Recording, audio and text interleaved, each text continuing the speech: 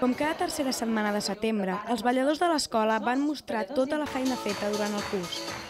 No van actuar tots els alumnes, sinó aquells més atrevits, ja que estar davant d'un públic requereix una certa responsabilitat. Segons els professors de l'escola, però, qualsevol persona pot intentar ballar i quedar-ne satisfeta. La gent que comença, si de cop ve a l'espectacle, podria dir ui, això jo no ho ballaré mai, jo no arribaré a això.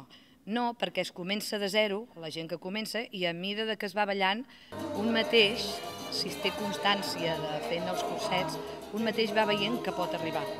Llavors ell mateix s'anima. Una seixantena d'alumnes i monitors de 3 a 68 anys van ballar i lluir vestuari en una gala dividida en dues parts força contrastades.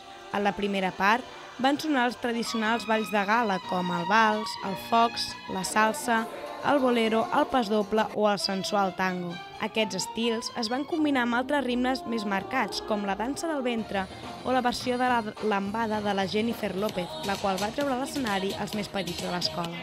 Amb la segona part de la batllada es buscava sorprendre el nombrós públic i donar un gir i una renovació als balls de salut. L'escenari i les parelles es van traslladar als anys 50 amb el musical de Gris. No tot es queda amb, amb els balls més senyalats, com és el pas doble, el tango, el vals, eh, que sabem el que és, no? Però sí, que aquests balls, sigui d'aquella època o balls que la joventut tenen ara, doncs si mínimament se sap el que és el ritme de la música, es pot adaptar tota classe de ball en el que són aquests balls que ballem nosaltres. O sigui, les cançons adaptades en el ball.